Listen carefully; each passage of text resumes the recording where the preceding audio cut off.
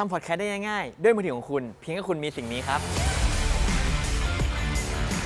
ตอนนี้อยู่นี่เลยครับ iLeak MyCast 2ครับผมจากแบรนด์ IK Multimedia ซึ่งขึ้นชื่ออยู่แล้วว่า ถ้าเกิดจะทำอะไรที่มันต่อกับมือถือนะครับ ต้องแบรนด์นี้นะครับผมถึงจะได้คุณภาพที่ยอดเยี่ยมนะครับ เปิดมาปุ๊บก็จะเจอกับตัวนี้เลยครับ เป็นเขาเรียกว่า QR code สำหรับสแกนลงทะเบียนต่างๆนะครับผมถัดมาด้านในครับผม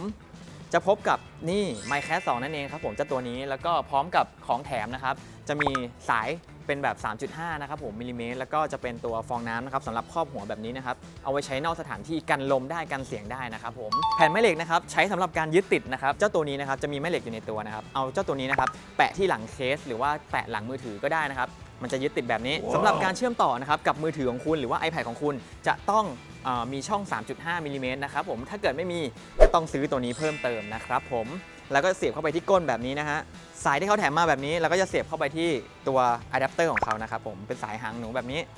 แล้วก็ไปเสียบกับไมค์แบบนี้ครับ เพียงเท่านี้เองครับ ง่ายๆ โทรศัพท์ของคุณหรือ iPad ของคุณก็สามารถใช้พอดแคสต์หรือว่าใช้ร็อกก็ได้นะครับผม และที่ตัวของเขานะครับ สังเกตว่าจะมีตัว F และตัว R นะครับผม ถ้าเป็น F นะครับ รับเสียงทางด้านหน้าครับ ส่วน R นะครับ รับเสียงทางด้านหลังนะครับ ถ้าเกิดอยากได้รับทั้งสองฝั่งนะครับผมก็ปรับมาตรงกลางแบบนี้นะฮะ นี่เพียงแค่ต่อแค่นี้ไม่ต้องใช้แอปอื่นๆ ใดๆนะครับ สามารถเข้าแอป Record ปกติของโทรศัพท์ของคุณได้เลยนะครับ ตัวนี้เหมาะมากๆนะครับกับคนที่ทำบล็อกหรือว่าพอดแคสต์นอกสถานที่ไม่อยากพกอุปกรณ์ ให้มันยุ่งยากนะครับ ตัวนี้อยู่ในราคาเพียงแค่ 2,390 บาทเท่านั้นเองครับ ถ้าใครสนใจมาได้เลยครับที่นี่ครับ